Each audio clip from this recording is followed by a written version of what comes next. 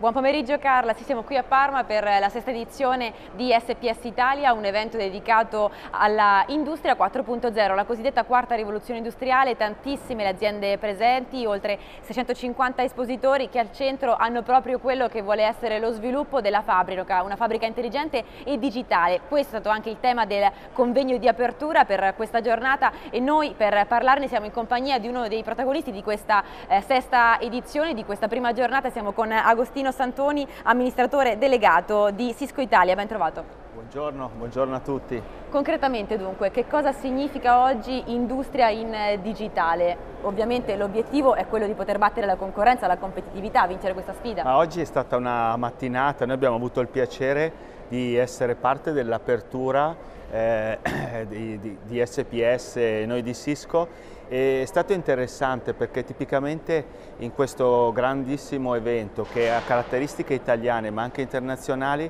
l'industria della tecnologia, dell'informatica e se pensate a Cisco, Cisco da sempre si occupa di internet, allora questa mattina abbiamo discusso come l'eccellenza italiana del mondo del manifatturiero, l'automazione industriale, grazie alla tecnologia internet può effettivamente ritornare ad essere un motore di crescita. E mi fa molto piacere la collaborazione con SPS perché abbiamo avuto la possibilità di parlare direttamente a coloro che guidano eh, il mercato manifatturiero che stanno perseguendo, io la chiamo la strada italiana del, dell'innovazione, quindi siamo particolarmente contenti della giornata, della mattinata di oggi. Quello dell'industria 4.0 è un concetto che si sta introducendo sempre di più e concretamente anche nella nostra realtà industriale. La domanda è come cambia anche il mercato del lavoro di fronte ovviamente a questo cambiamento, questo grande cambiamento? Eh, diciamo ci sono due aspetti secondo me molto importanti. Il primo aspetto che oggi abbiamo evidenziato che è la velocità della tecnologia e utilizzo alcuni numeri per darvi la la tempistica e come tutto questo sta accelerando. A noi piace dire, avendo dedicato 30 anni, più di 30 anni a internet, che oggi il mondo utilizza l'internet a meno dell'1%. In quattro anni ci saranno più di 50 miliardi di nuovi abitanti della rete. Questi nuovi abitanti non saranno solo persone, ma saranno oggetti, robot, cose collegate alla rete e questo porterà a quella che noi definiamo una nuova rivoluzione industriale. La caratteristica di questa rivoluzione è che vede al centro due realtà. La prima sono le persone che devono imparare, utilizzando queste nuove tecnologie, a utilizzare le loro emozioni, le loro innovazioni e le loro idee per trarre beneficio di questa innovazione e dall'altra parte le macchine che interagiranno tra loro e con le persone in un modo più semplice e più naturale e quindi il tema delle competenze ancora una volta è il tema rilevante per accelerare questa trasformazione. Quindi secondo lei trasformazione dunque non meno lavoro ma un lavoro che cambia? È un lavoro che cambia, a noi piace anche dire che sarà un lavoro più divertente, è un lavoro che aprirà molti più spazi alla creatività e aprirà molti più spazi alla nuova imprenditorialità e in particolare quella italiana. Sono convinto, te lo dicevo prima, che c'è una strada italiana per ritornare a quell'innovazione che noi conosciamo bene. Antonio, proprio questo volevo chiederle, perché abbiamo spesso parlato di Industria 4.0 come un'idea che, e così è, è nata proprio in Germania.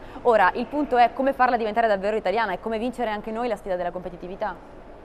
Quando dico che vedo una strada italiana, eh, lo vedo perché vedo alla velocità con la quale l'innovazione sta arrivando, vedendo anche che cosa sta facendo Cisco in quest'ambito, io penso che il professionista o la professionista moderna che interpreta questo ruolo deve avere una fortissima capacità di collaborare e nello stesso tempo di lavorare con clienti, partner e colleghi in un modo diverso, più aperto e più inclusivo abbiamo parte della nostra cultura è fatta anche così e abbiamo delle caratteristiche delle nostre industrie che ci danno una peculiarità unica nel mondo che è l'eccellenza in alcuni settori dell'industria manifatturiera.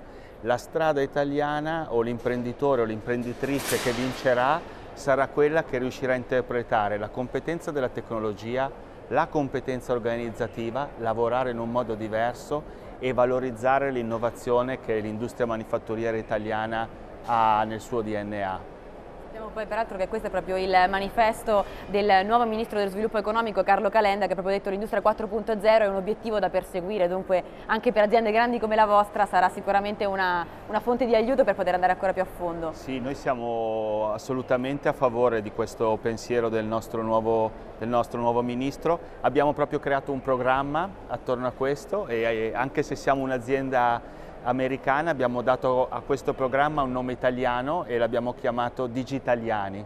Quindi abbiamo associato eh, il digitale con gli italiani, abbiamo fortemente voluto dare un nome che ricordasse l'italianità anche di un'azienda americana.